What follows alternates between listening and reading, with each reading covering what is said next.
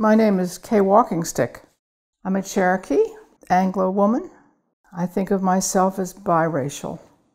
This particular vessel, it's a, called an olla, the Spanish would say olla, is a water carrier. You can imagine the water cooling in it, as a matter of fact. Typical Acoma coloration of black and white, which I've always thought was stunning. When you look at this shape, this olla shape, it's a very curvilinear shape, and this was not made on a wheel. Native people simply didn't use a wheel for their pottery, although it, it has the perfection of something that hasn't been made on a wheel. And everything that is on the pot relates to the shape of the pot.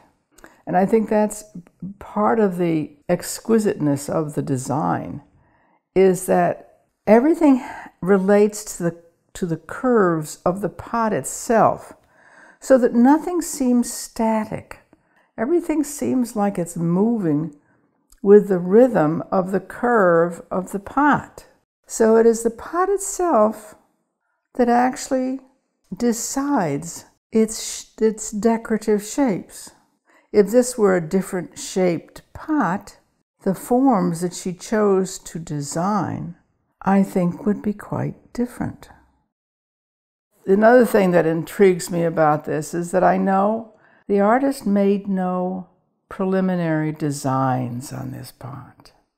She, and I assume it's a she, simply painted it. Painted it with the history of knowing how to paint. This is a person who was highly crafted.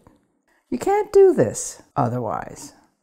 And yet it has this perfection combined with the freedom of painterly gesture that I, I find absolutely remarkable. Right in the center of the shoulder, I would call it, of the pot, you can see a four direction symbol. This is a pan Indian symbol. Many, many native people honor the four directions. Cherokees pray to the four directions.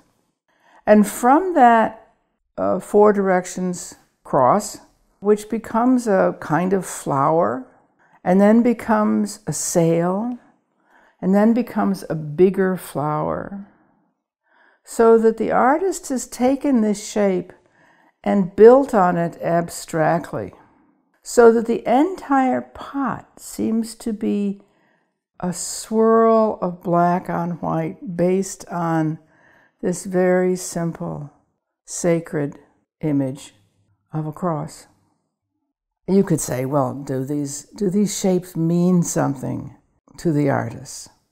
Other than that four direction symbol, I doubt it. I suspect they are simply the um, traverses of a brush on a form. I chose this piece because it's beautiful and it's perfect. It has a perfection about it. Few things are perfect, but this for me is perfection.